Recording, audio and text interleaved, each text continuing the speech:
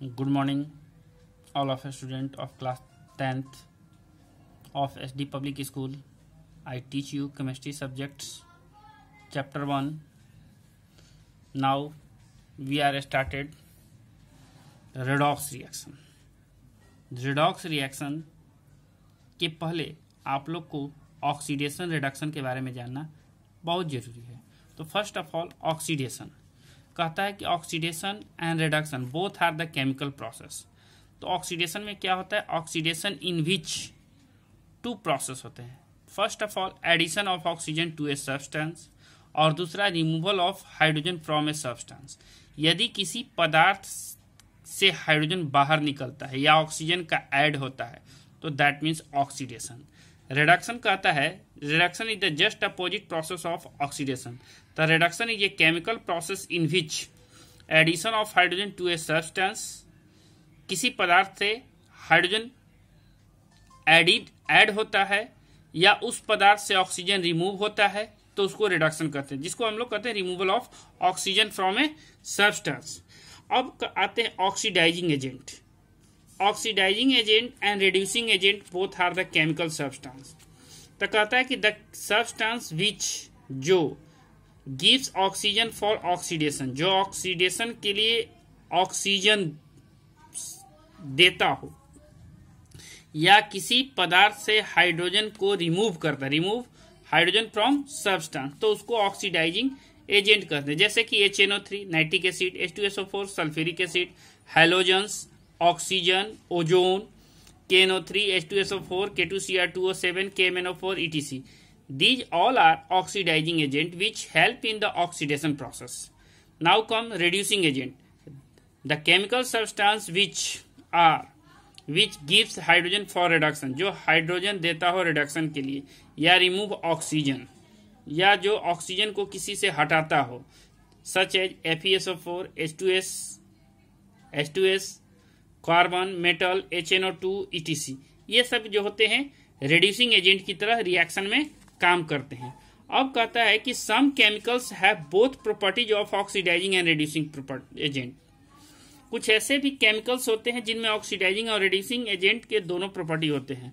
तो now page number two पर आते हैं। जैसे कि S O two H N O two H two O two ये तीनों जो एग्ज़ाम्पल दिए गए हैं, इसमें ऑक्सीडाइजिंग एजेंट और रिड्यूसिंग एजेंट दोनों का गुण रखते हैं।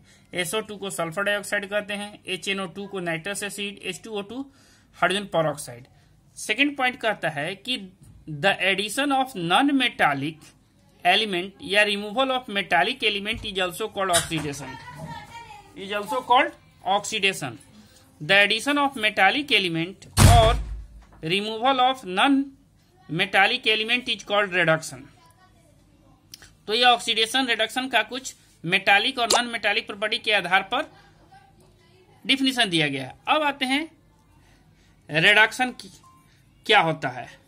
सॉरी रेडॉक्स रिएक्शन कहता है कि oxidation plus reduction is equal to redox reaction कहता है कि the reaction in which oxidation and reduction both takes place called redox reaction जिसमें ऑक्सीडेशन और रिडक्शन दोनों प्रक्रियाएँ साथ साथ होती हैं, उसको हम लोग रेडॉक्स रिएक्शन कहते हैं। रेडॉक्स रिएक्शन में क्या होता है कि in the redox reaction oxidising agent are reduced oxidising agent reduce हो जाते हैं, जबकि रिड्यूसिंग एजेंट जो होते हैं ऑक्सीडाइड हो जाते हैं।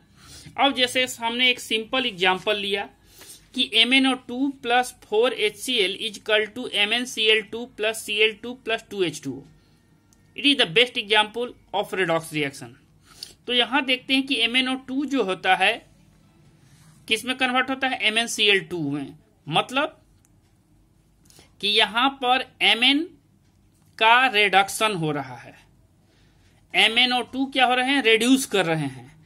और HCl जो होता है Cl2 में कन्वर्ट हो रहा है। मतलब यहाँ Cl2 HCl ऑक्सीडाइज कर रहा है।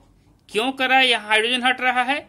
यहाँ ऑक्सीजन हट रहा है। यहाँ ऑक्सीजन हट जा रहा है, यहाँ हाइड्रोजन हट रहा है।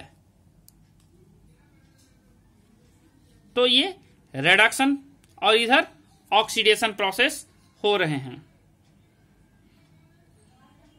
तो MnO2 से MnCl2 का बनना दैट मीन्स रिडक्शन HCl से Cl2 का बनना ऑक्सीडेशन तो आज के लिए हम लोग इतना ही। Best of good